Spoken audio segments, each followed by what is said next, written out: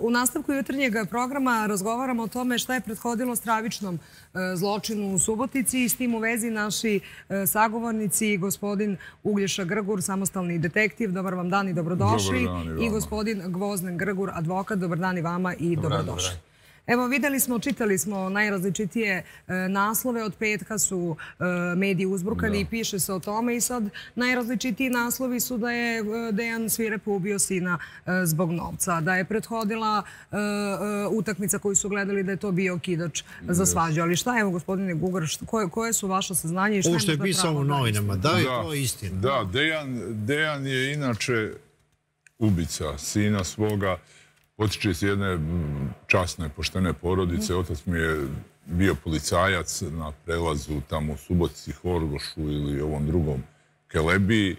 Dejan je bio, po mojim saznanjima, uzoran momak, završio je fakultet fizičke kulture, magistrirao je na njemu, bio je odličan sportista, džudista, oženio se, dobio troje dece, bio je brižan otac, radio i u Subotici. E, njegovim preseljenjem, kad su prešli da žive u Novi Sad, tu se on odao raznoraznim stvarima, po mojim saznanjima, uzimo i narkotike, kupio je jedan stan kad su došli dva, držao i neki splav i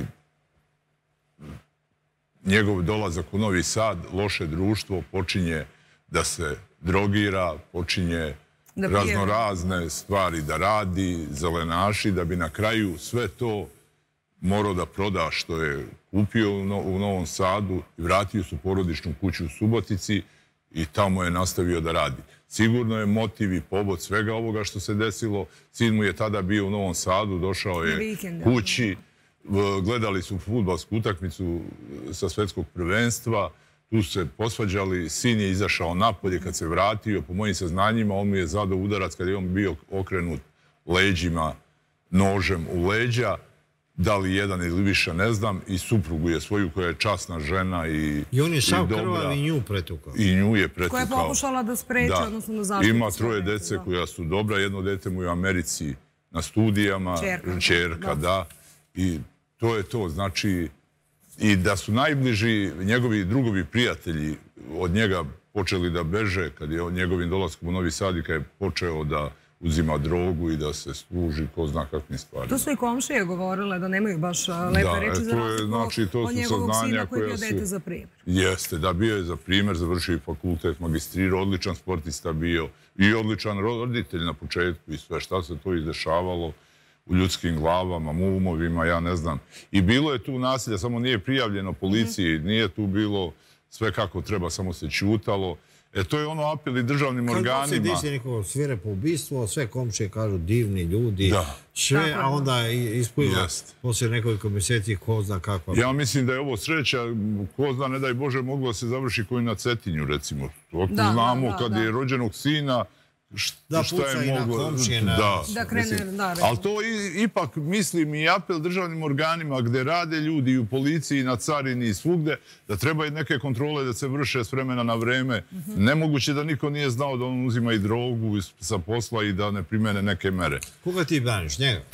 Ne. Ne, ne. Ne branim.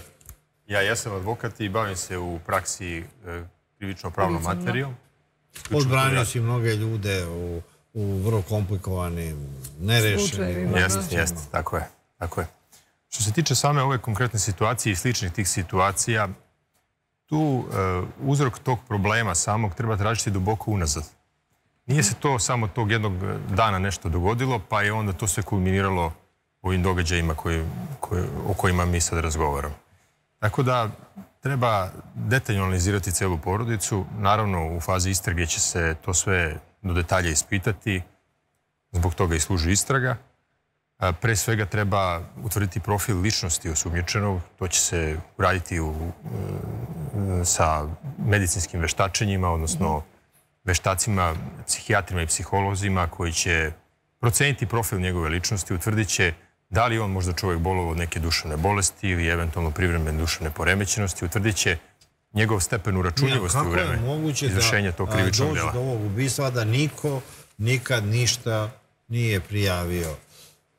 Znate kako, kod nas takav, ta, To su takav, neke smo, smo mi, takav smo mi narod. Neće se nikada komšija mešati u... A čekajte, to se sad nameće pitanje. Ja ću da se drugog umešam kada mi smeta glasna komšije. muzika, ja ću da se umešam kada treba da pokvarim nekome nešto, a kada treba, kada čujem da evidentno se dešava nasilje u stanu pored mog, ja odlučujem da to ignorišem. Kako je to Jednostavno, mi, mi, mi e, Čekaj, nemamo pravo.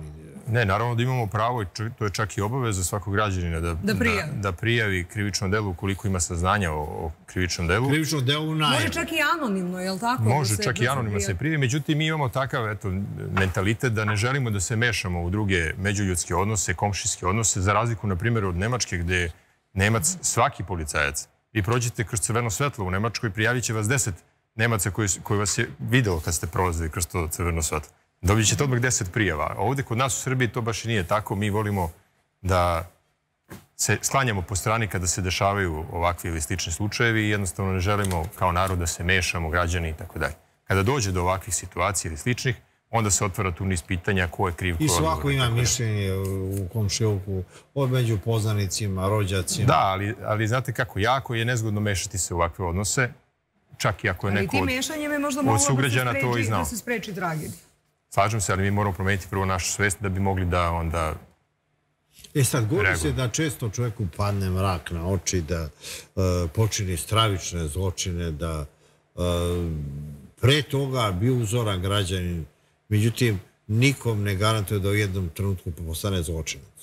Ali negde, negde to tinja i negde je neko morao da primeti Da će takva osoba da počini zločin. I ovde ja verujem da su mnogi ljudi znali da će on neko čudo, da kažem, po znacima navoda uradi, nisu možda znali šta, od takvih ljudi, ubije rođenu. od ta- eto i po novinama kažu da je bio i agresivan i da je bio svašta. Ili, Ne volao da popije. da je popije, da. I, tako da, opet kažem, treba to prepoznati na vreme. Mogu takve stvari da se prepoznaju. I ona je na Cetinju, opet se vraćam na njega, on je trebao ide kod psihijatra, a policijska stanica znala je da ima pušku kod kuće, oružje, da su otišli da uzmu pušku.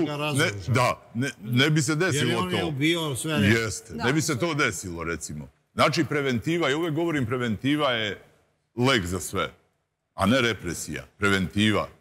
To je ono... I sad, ubistvo deteta, pa nema nikakvog opravdanja. Ka, evo, na primjer, kako bi ti njega branio?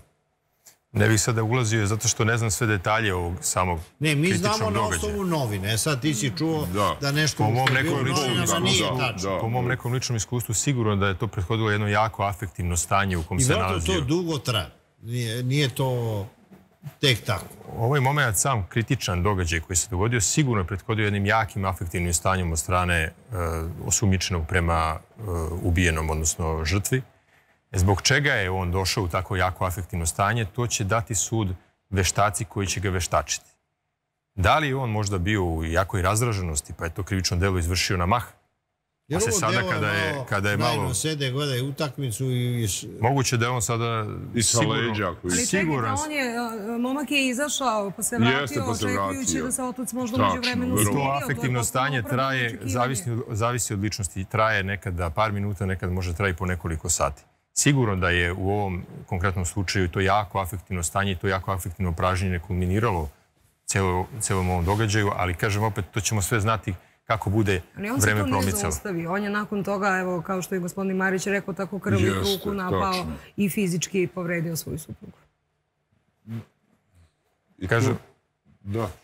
Kažem opet, to, sada sve te odgovore treba tražiti u tome šta je on tada u tom momentu e, osjećao, da li je bio uopšte i... e, Mi još ne znamo njegov iskaz u Možda- možda... Branio se- čutanjem, da. Možda on nije bio ni sposoban da iznese iskaz sada u ovom momentu i zbog svih tih događaja koji se desili.